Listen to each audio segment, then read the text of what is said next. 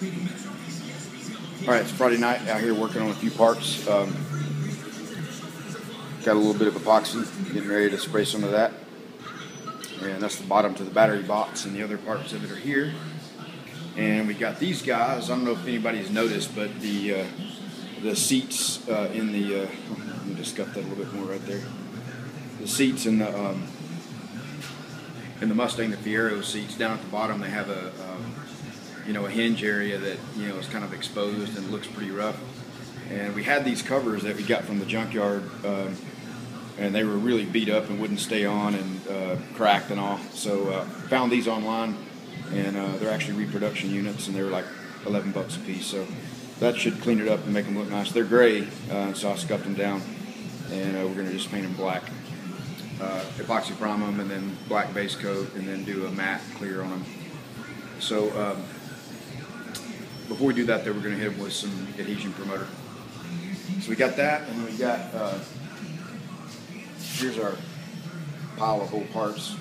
We had a glove box door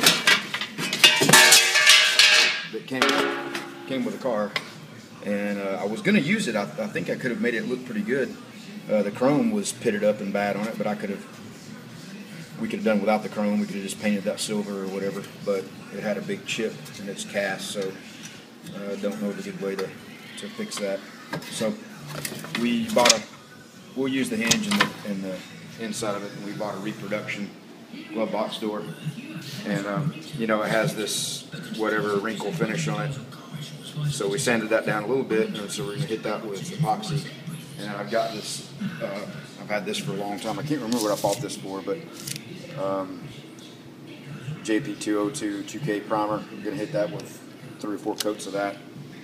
And uh, I don't remember this stuff being very good. Uh, well, what I remember about it was I left. You know, I had some in a cup when I used it the first time, and it. Uh, man, the next day it had some serious shrinkage in it. And I've used several different kinds of primers, and I don't remember seeing any shrink up that much. So, uh, but for this, and as hot as it is, we'll put it outside in the sun tomorrow, and um, we're not going to paint it. We're going to use some of that uh, carbon fiber stuff, and uh, might look a little tacky. I don't know, but I think it'll look pretty cool. But uh, that's the plan. All right, we're to quit talking and uh, get ready to spray some stuff out here.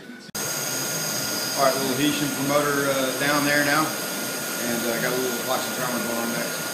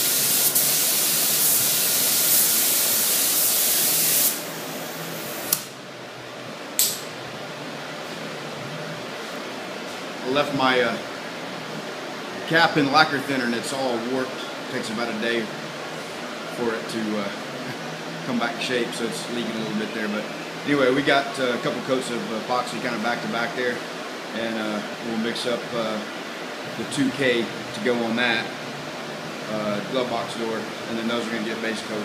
Those uh, panels up there get base coat next. All right, while we're waiting for the primer to flash off and put our last coat, we're going to throw down the first coat of base on uh, those parts over there. Camera's crooked, but oh well.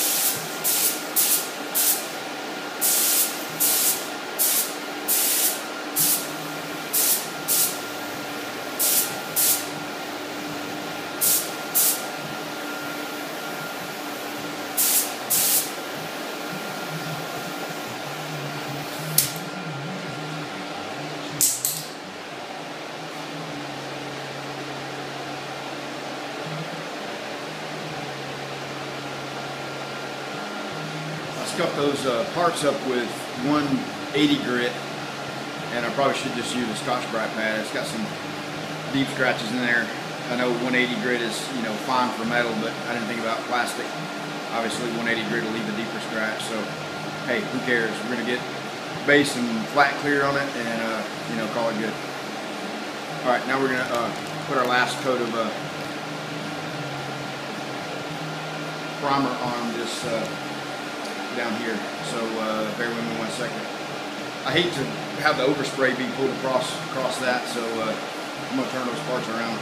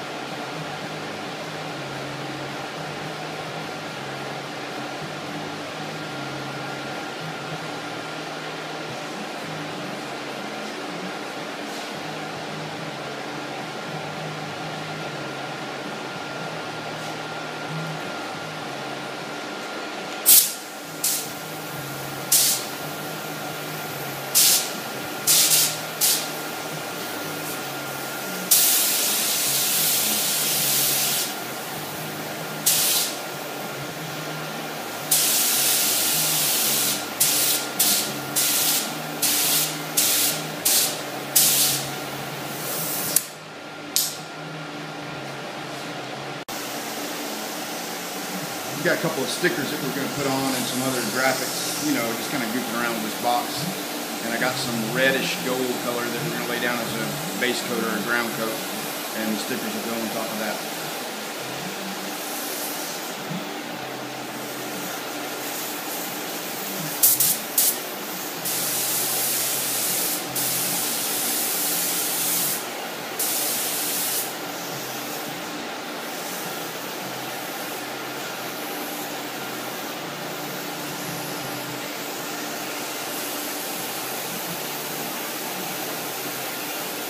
Gun's still leaking.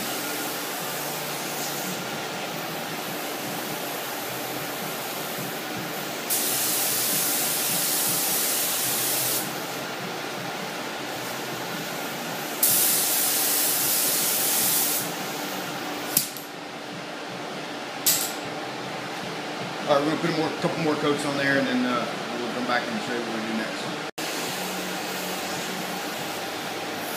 All right, we're using our little Harbor Freight $19 touch-up gun. And uh, this thing actually does a really good job. Uh, you know, I got the Segola touch-up gun. It's, you know, $350 gun. And I really can't say that it sprays any nicer than this one.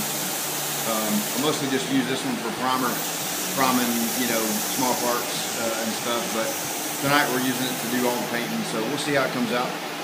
All right, so we got the gold base down and I mixed up some of the gray um, base coat that we used on the top of the Mustang, mixed it with some silver, and um, so that's the color we're gonna paint it uh, because if you just use the gray uh, base coat that's on the top of the car, uh, anywhere except for that's going to be in the sunlight, it almost looks black. So I wanted to lighten it up a little bit since it's going to be in the trunk. And so anyway, we're going to spray over this Orion sticker, and then uh, we're going to pull the sticker off and then clear coat over that. So and just leave the you know painted gold letters on there. Anyway, we'll go ahead and get get the spray in and see what it looks like.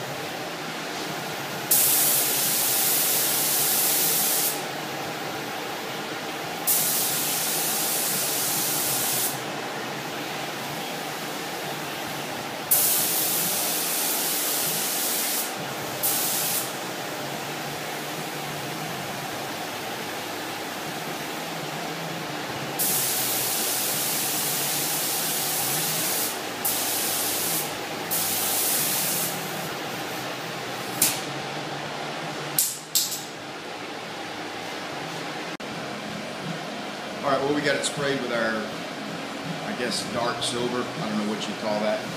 So we're gonna pull off the sticker here and see how it looks.